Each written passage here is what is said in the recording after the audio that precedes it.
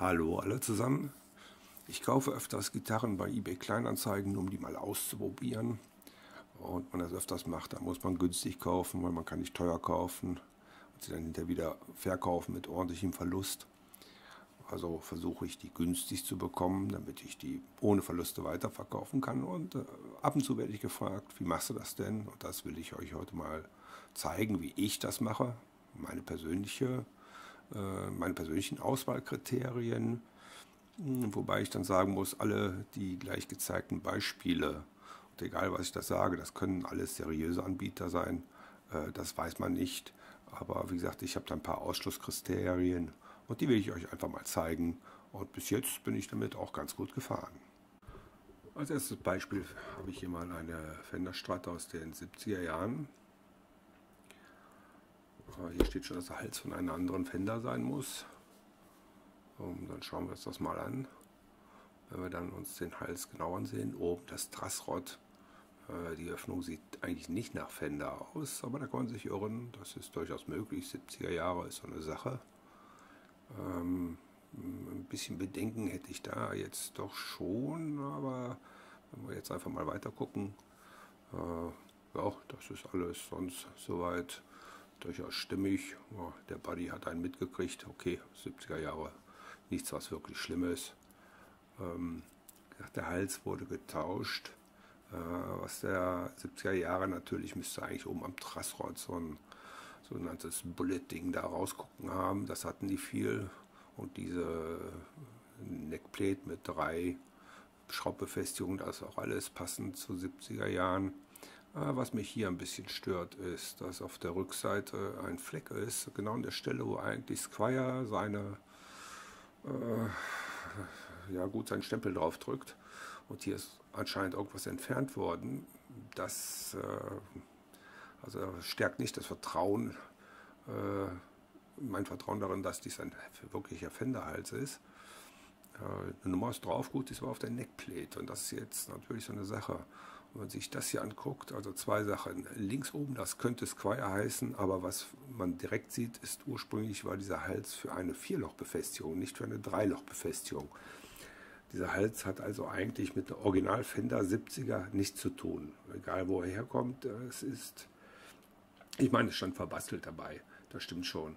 Aber wenn man sich dann, äh, äh, glaube ich, gleich nochmal auf das Picard geht, ähm, dann kann man da doch sehen, dass das äh, alles, also das ist, das hat Fender nicht verbaut. Keine kleinen Pots, nicht diesen komischen Schalter und vor allem nicht diese wirklich billigen Pickups. Also das kann sein, dass der Body aus einer 70er ist, aber ich würde dieses Teil nicht kaufen. Das ist zumindest sein Preis, denke ich mal, nicht wert ohne dem Anbieter jetzt auf die Füße treten zu wollen. Wie gesagt, der Body sieht so aus. Wenn jemand für ein Body 1500 Euro aus den 70ern ausgeben will, kann er das machen, aber die Gitarre selbst ist irgendwie doch ähm, arg verbastelt, um es mal freundlich auszudrücken. Kommen wir direkt zum nächsten Beispiel. Hier steht Fender American Standard. Äh, in der Beschreibung steht dann auch direkt, dass der Body halt von der American Standard ist und der Hals von einer Made in Mexico kann sein, dass der Preis für diese Gitarre gerechtfertigt ist, aber wenn man sowas verkauft, dann ist das halt, was am Hals steht, ist eine Mexiko. Und äh, hier mal kurz auf den Anbieter. Das ist durchaus okay. Gute Bewertung, also die kann man kaufen. Ich würde es jetzt nicht kaufen, weil ich finde sie nicht extrem günstig. Wenn es amerikanisch wäre, okay. Aber es ist halt ein eine Mischung aus Amerika und Mexiko.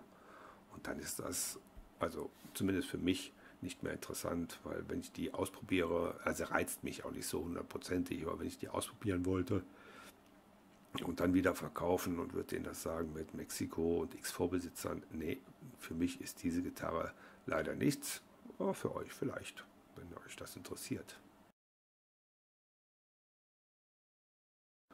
Kommen wir direkt zur nächsten auch da sage ich, die würde ich nicht nehmen. Äh, und ohne dem Anbieter jetzt Unrecht tun zu wollen, aber hier gibt es ein paar Sachen, die auf Fake hindeuten, also Fake-Anzeige. Ähm, also der Preis ist eigentlich schon ein bisschen zu hoch für eine Fake-Anzeige, der wäre normal so um die 500. Äh, er bietet auch Abholung an, also dann, wenn ich in der Nähe wohnen würde, abholen, klar, sofort, ist ein guter Preis. Schicken lassen würde ich es mir nicht, und zwar folgender Grund, was man hier sieht, äh, Anbieter seit 17, keine Anzeigen, es ist die erste und die ist verdächtig günstig. Ähm, und das hat man viel bei diesen Fake-Anbietern, dass, äh, wenn man da reinguckt, die seit 14 registriert sind oder 15, also schon jahrelang, aber plötzlich nur eine Anzeige zu einem besonders guten Preis haben. Und das finde ich dann einfach, wie gesagt, ich finde es verdächtig, aber wenn ich in der Nähe wohnen würde, würde ich ihn anrufen, vorbeifahren, abholen, kann auch ein netter Kerl. Kommen wir zum nächsten Kandidaten.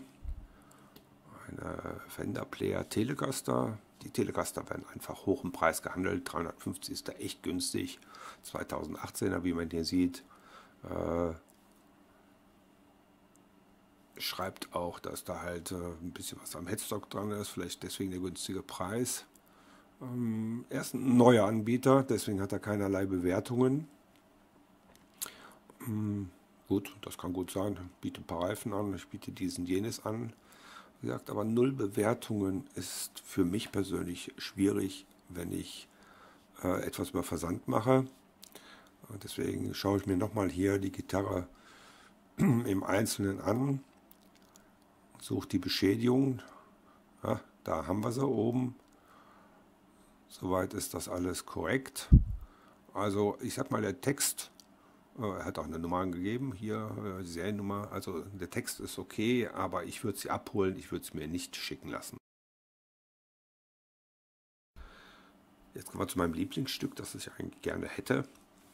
Äh, und zwar ist das eine Fender Roland Stratocaster. Die wird in den USA hergestellt. Ähm, der Preis ist tut mir leid, dass ich das sagen muss, aber verdächtig günstig. Diese Gitarre wird normalerweise um die 1000 Euro gehandelt. Äh, wenn man hier sieht, ähm, okay, seit 18 äh, ist er da und hat schon 24 Anzeigen gehabt. Allerdings keine Bewertung. Und äh, dann können natürlich 24 Anzeigen auch geschaltet sein, jetzt schon, die aber äh, auf Pausieren sind. Also, das, das weiß ich nicht. Also ein, ein Preis, der verdächtig niedrig ist keine Bewertungen. Äh, hm, das ist einfach so eine Sache, da weiß ich nicht so recht. Also die Gitarre an sich finde ich wahnsinnig interessant. Äh, selbst mal mit diesem gefriemelten Stecker oder vielleicht ist er auch gut verlegt, ist ja auch egal. Ähm, sehr interessantes Teil. Und wenn ich in der Nähe wohnen würde, was ich nicht tue, wenn ich in der Nähe wohnen würde, würde ich mir Bargeld einpacken und losfahren und ich glaube, da hatte der VB stehen. Ich würde auch nicht groß mit dem handeln. Was soll das? 560 ist ein wahnsinnig toller Preis. Also dann würde ich die nehmen. Aber schicken lassen, weiß ich nicht. Das, äh, ich habe kein gutes Gefühl bei dieser Anzeige. Also abholen ja, schicken lassen wieder mal nein. Dann kommen wir zur nächsten. Auch, äh, wie ich finde, ein Preisbrecher. Es ist unüblich, dass eine Fender unter der Hälfte des Neuwertes äh, gehandelt wird. Das ist einfach so. Wir haben hier eine Anzeige, die vom Text her alles in Ordnung, sehr seriös, was dort steht. Wie gesagt, der Preis ist sehr günstig. Hm, wie gesagt, ist auch Bayern ist, ist weit weg, müsste ich mir schicken lassen. Ich schaue mal genau, was da steht. Anbieter seit 2014, sonst nichts.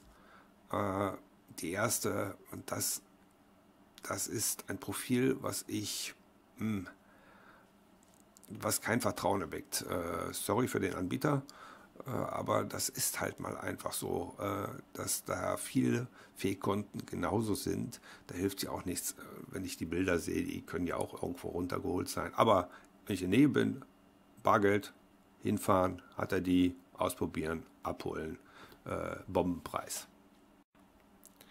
Dann kommen wir mal zu einer Anzeige, wie ich, also wenn ich die jetzt haben wollte, nehmen würde. Und zwar haben wir hier für 450 Euro, wird einer sagen, okay, das ist ja eine Mexiko-Standard, aber ist halt ein Special Run. Äh, eine, eine ziemlich gute Beschreibung. Sagt auch, da an der Preis mache ich nichts mehr. Der Preis könnte ein bisschen weniger, aber der Preis ist, ist, ist nicht schlecht und das ist eine seltene Gitarre. Und wir sehen, der gute Mann ist seit zehn Jahren aktiv, er hat top bewertet, sechs Follower, viele Anzeigen online gehabt. Äh, Bilder stimmen mit der Beschreibung überein. Ähm, also ich finde die Sache vertrauenswürdig, für mich persönlich.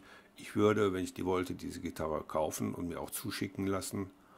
Ähm, was nicht heißt, dass man immer reinfallen kann, aber bis jetzt hat es bei mir noch ganz gut funktioniert. Habe noch nie eine richtige Gurke gekriegt oder gar nichts gekriegt. Also so mache ich das. Wenn ihr es anders macht, schreibt es in die Kommentare. Ihr könnt auch liken und abonnieren. Bis dann. Tschüss.